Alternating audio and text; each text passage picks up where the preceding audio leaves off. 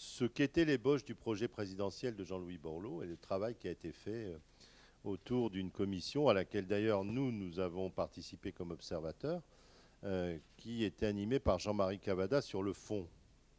Si on parle un tout petit peu du fond, les sujets, les arêtes de ce projet, elles étaient sur des questions de laïcité, où après l'intervention de Jean-François Copé dans les prises de position qui ont été faites ici sur la laïcité, il y a une large convergence de vues.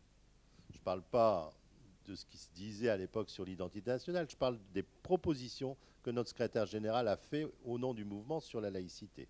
C'est important pour les radicaux.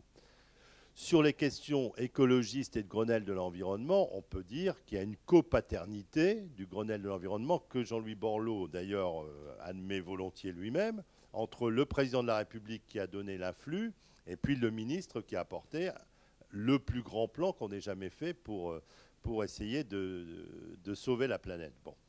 Sur les questions de cohésion sociale, qui est le troisième arrêt du projet de Jean-Louis Borloo, et donc des politiques de logement de la ville, etc., nous sommes là aussi avec euh, des larges convergences. On peut euh, diverger sur des questions de moyens et de calendrier, mais pas sur les objectifs à atteindre. Et sur la dernière question qui est fondamentale, moi qui suis un, ami proche, ce n'est pas un secret de Jean-Louis Borloo, et, quand on en parle, c'est toujours là-dessus sur lequel il revient, qui est la gouvernance de la Maison France.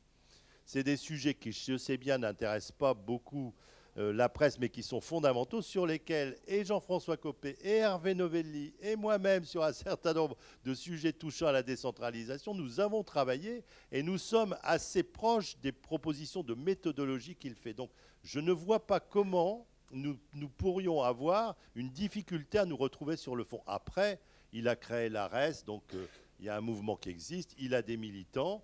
Euh, il est probable qu'Hervé Morin va annoncer sa candidature. Je, pour bien connaître toutes les personnes qui sont dans, cette mouvance, je ne suis pas du tout persuadé que ça va susciter un large engouement, pour être clair, parce que, euh, comme je le disais l'autre jour, la grande mode, ça n'a pas été du beurre et ça laisse quelques traces.